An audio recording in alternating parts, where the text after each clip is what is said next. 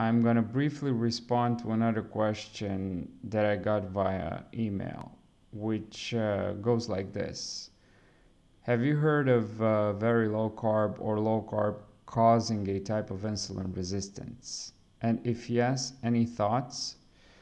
Well, um, Albert, the answer is yes. I've heard of it, um, and I also read a couple of papers which kind of hint about this mechanism. Um, I don't know of any study that would investigate this on purpose, though. And if any of you watching uh, this video know of any study, please link it in the comments below. Okay, um, so physiologic insulin resistance induced by a low carbohydrate or very low carbohydrate diet could make sense in light of the evolutionary argument. Or um, to be more specific how an organism responds to stimuli from the environment. Uh, we're talking about stimulus and adaptation here.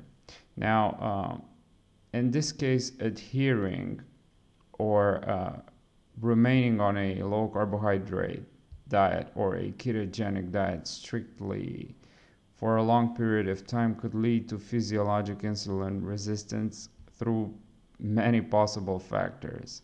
Uh, to exemplify, one of them would be uh, the downregulation of different GLUT receptors or GLUT receptors, GLUT, uh, which are responsible for transporting glucose inside cells.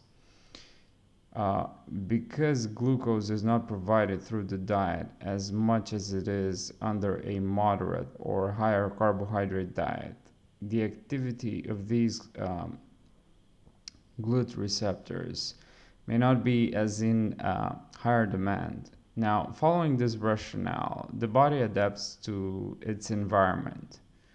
Uh, why would it maintain the transcription of genes responsible for GLUT receptor proteins uh, if there is not as much need of them? For metabolic efficiency, I suspect it would adapt by upregulating factors that have to do or uh, that support fat metabolism, since fat would be the primary metabolic uh, substrate for energy in this case. Now, this example of downregulating GLUT receptors is only one of the possible mechanisms that could promote diet-induced uh, physiologic insulin resistance. Uh, okay, so if this really happens, is it a bad thing? Um, I guess it depends on how you look at it. In part, it would promote metabolic inflexibility and uh, more reliance on a primary substrate, fat in this case, than glucose for the bulk of energy. But I think that the same could be said um, if one would follow a higher carbohydrate, very low fat diet over the long term.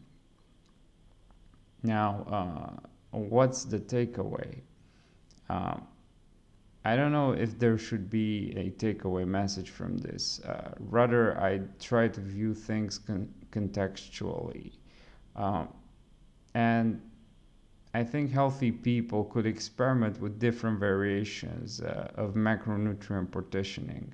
This way, they kind of uh, they would avoid the boredom of monotonic diets, and they could promote um, metabolic flexibility, if I could put it that way.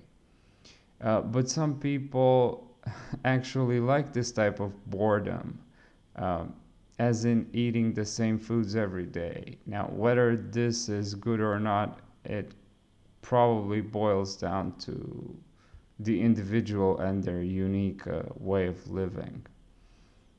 What about unhealthy people?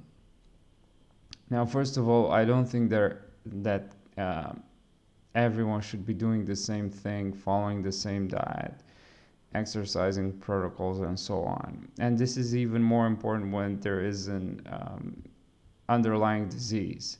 Now, as boring as it may sound, this would require an individual approach making sure to consider mm, as many unique variables as possible from that person's life.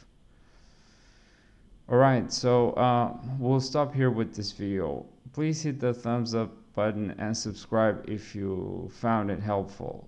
Thank you for watching.